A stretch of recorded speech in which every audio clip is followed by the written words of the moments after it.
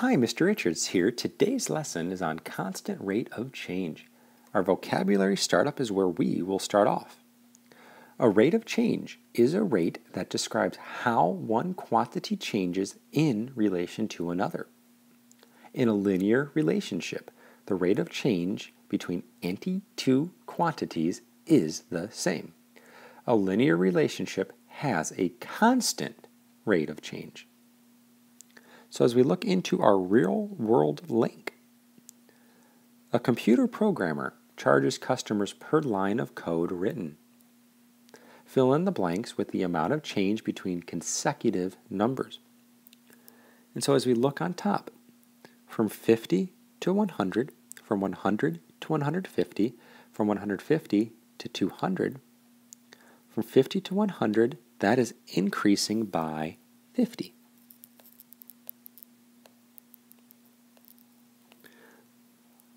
From 100 to 150, that is also increasing by 50.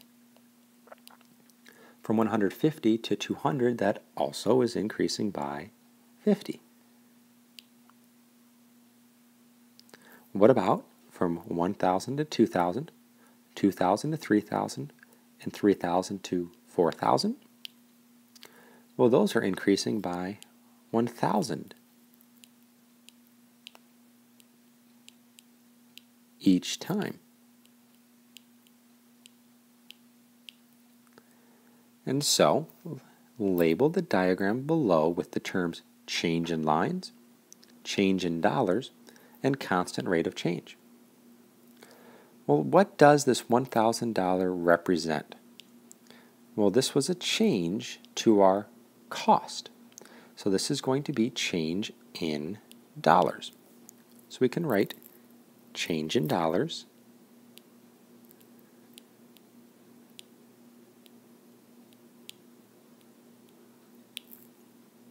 And then what does the 50 lines? Well, that's plus 50. That's our change in lines.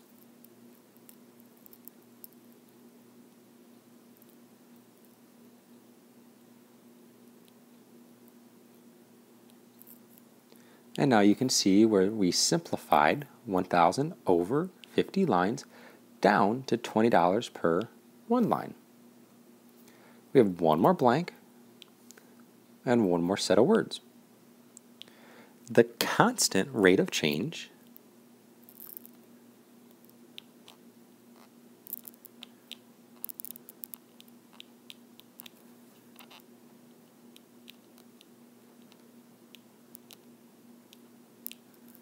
is $20 per line of programming code. We will be looking for constant rates of change in this lesson today. The first way we're going to use to find this constant rate of change is by using a table. As it says, you can use a table to find a constant rate of change. So in our first guided example, the table shows the amount of money a booster club makes washing cars for a fundraiser. Use the information to find the constant rate of change in dollars per car. That dollars per car is very important. So important, I'm going to put a box around it.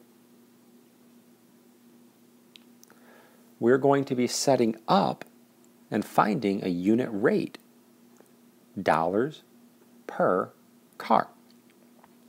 But the first thing we're going to do is to look for the change. Well, our change in the number of cars from 5 to 10 is 5, from 10 to 15 is plus 5, and from 15 to 20 is plus 5. All constant changes. From 40 to 80, we're adding 40. From 80 to 120, we're adding 40. And from 120 to 160, we're adding 40. The next step is to find the unit rate to determine the constant rate of change. And when determining what goes on top of what, look back at your question. Dollars per car. And so the book set this up, change in money, our dollars, over our change in cars. So dollars per car helps us set up this unit rate. So our change in money was $40. Our change in number of cars was five cars. So $40 over five cars is our constant rate of change. And we can simplify that by dividing by 5 on top and bottom to get $8 per one car.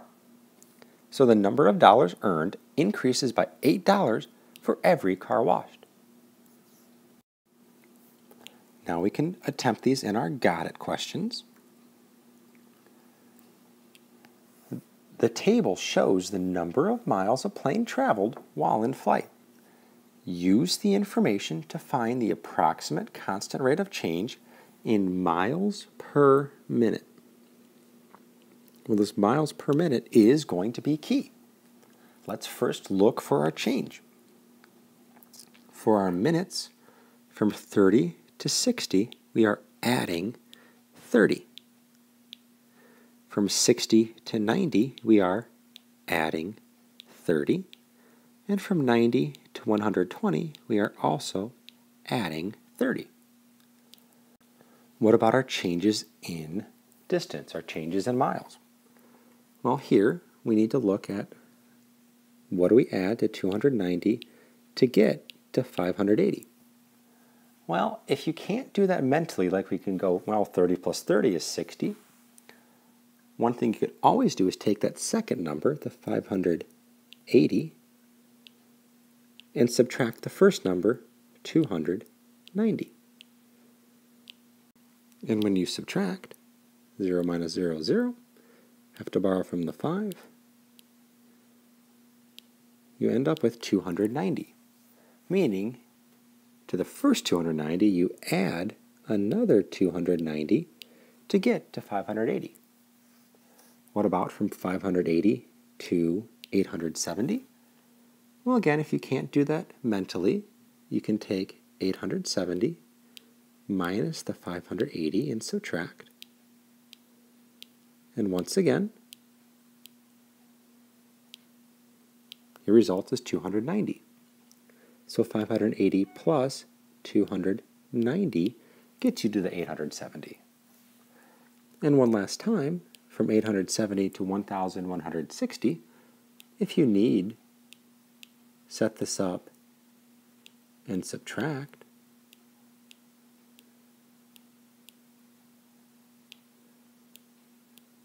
You once again get 290, which gets us a constant rate of change for the distance of 290 miles. Now, we're looking for an approximate constant rate of change in miles per minute. So we're going to set this up, change in miles over our change in minutes. Well, our change in miles is 290. Our change in minutes was 30.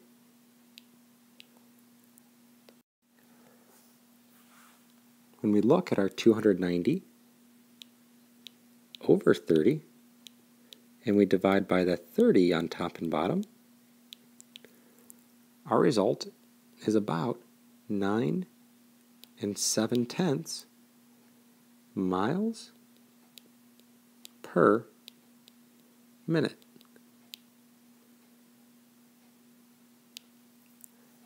Let's look at B. The table shows the number of students that buses can transport.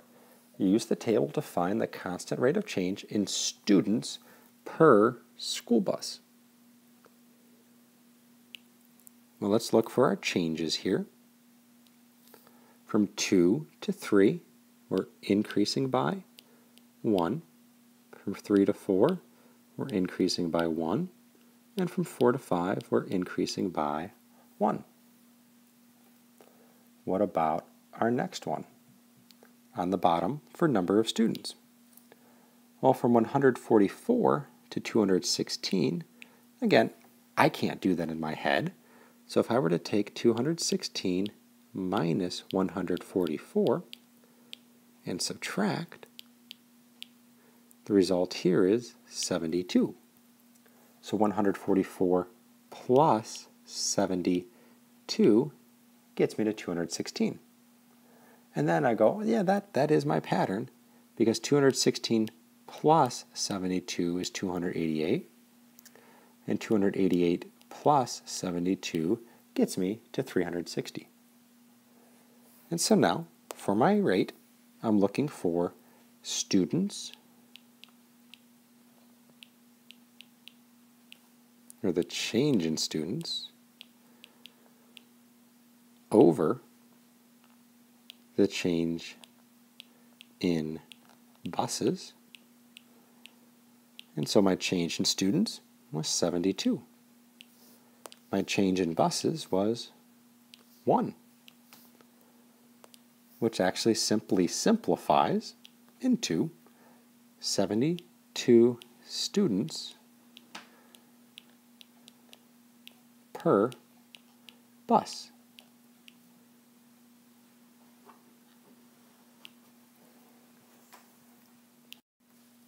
The second way we can find constant rates of change involves using a graph. You can also use a graph to find a constant rate of change and to analyze points on the graph. So for our examples 2 and 3, the graph represents the distance traveled while driving on a highway. Find the constant rate of change. Well, our y-axis our miles, our distance. Our x-axis is going to be time. And for these changes, we're always going to have our y-axis over our x-axis, our change in y over our change in x. Let's make sure we write that down. Change in y over the change in x. And so, to find the rate of change, pick any two points on the line, such as 0, 0 and 1, 60. Well, here we have our 0, 0 and our 1, 60. What they did was they looked for their change in miles. Well, that's our y. And so we went 60 minus 0 over a change in hours, 1 minus 0.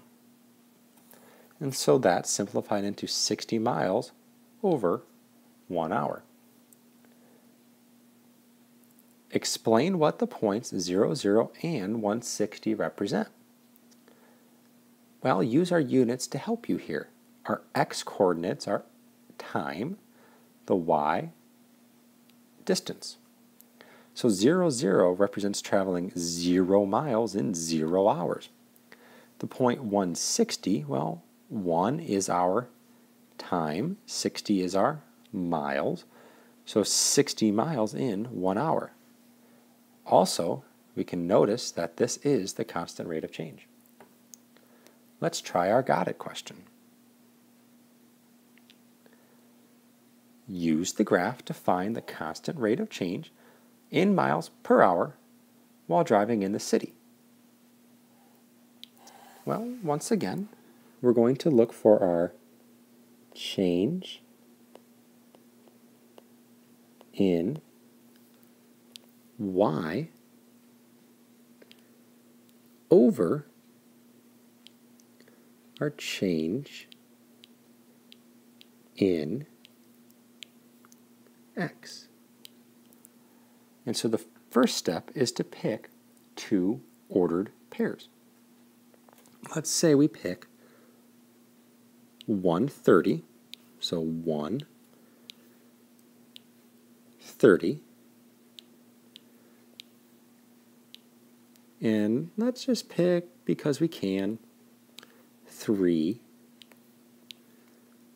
90.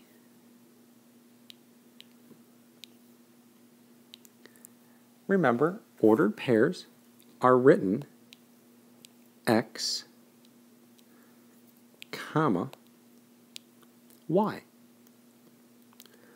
So if we're going to look for our change in y, which is our change in miles, over our change in x, what we can do is take our two y's, which are 90 and 30, and subtract. So 90 minus 30.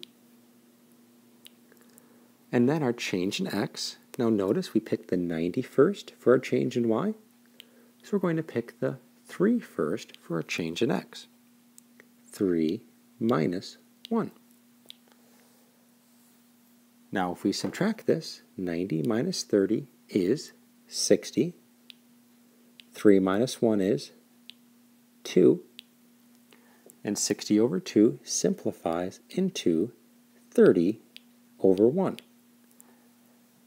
Now, our y was miles, our x were hours, so we can say this is 30 miles per or over 1 hour.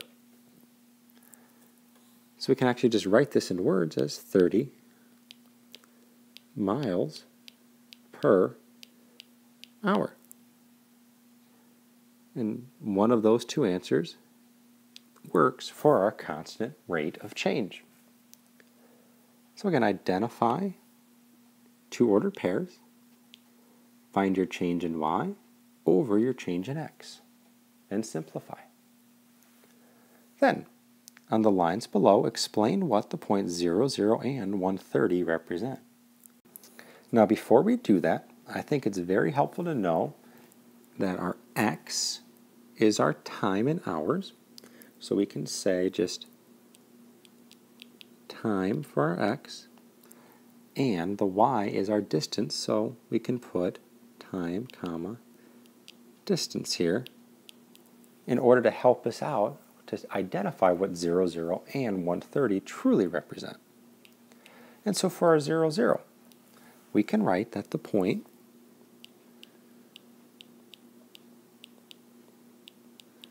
zero, zero. Now, that means zero miles for our y and zero time for our x. So we're going to say the point zero, zero represents traveling zero miles for the distance in zero hours, and that represents our time. Now, 130, a little bit more uh, work to put there. The 1 represents our time in hours, 30 is our distance in miles. So what we can write is the point 130 represents traveling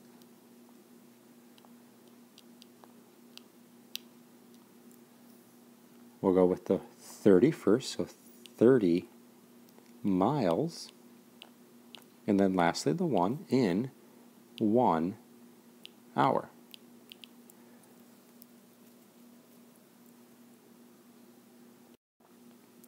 Our last guided example for the lesson ties it all up. The table and graph below show the hourly charge to rent a bicycle at two different stores. Which store charges more per bicycle? Explain. Well, we have our two methods for finding constant rate of change. We have our table and we have our graph. And so what we need to do is to find our rate of change in the table and compare it to the rate of change in the graph. Well, we're looking for stored charges more per bicycle. So that's going to be cost per bicycle. And so as we look here, our cost in the table is increasing by 12. Our time is increasing by 1. And so that represents a $12 per 1 hour constant change. What about supercycles? Well, they pick these two points right here and there. And if I were to write those points down, that is 1, 8, and 2, 16. And if we were to actually calculate our change in y over our change in x, remember for our y's, we have the 16 and the 8, so the change in y is going to be represented by 16 minus 8. And our change in x's, we have this 2 and 1, so we can write this as 2 minus 1. So this change is going to be 8 over 1. Now the y were our dollars, so $8 over 1 hour. So we have $12 for one hour at Pedals Rentals and $8 for one hour at Supercycles. And that's what we have in our summary box here. The cost at Pedals Rentals increases by $12 per every hour. The cost at Supercycles increases by $8 for every hour. The question's asking which store charges more? Well, $12 per hour is greater than $8 per hour. So Pedals Rentals charges more per hour to rent a bicycle. So in this lesson on constant rate of change, we can use both a table and a graph to find constant rates of change. That's it for this lesson. Good luck.